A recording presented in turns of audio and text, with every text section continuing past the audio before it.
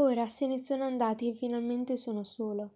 Ho tutta la notte davanti e non voglio sciuparne nemmeno un momento. Non la trascorrerò dormendo e nemmeno sognando. Non devo perché ogni istante sarà fin troppo prezioso.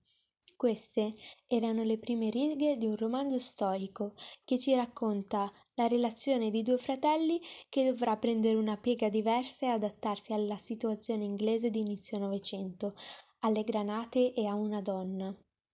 Su questa storia abbiamo fatto un apposito podcast che vi straconsiglio di ascoltare sul nostro canale e non dimenticatevi di iscrivervi. Buona lettura!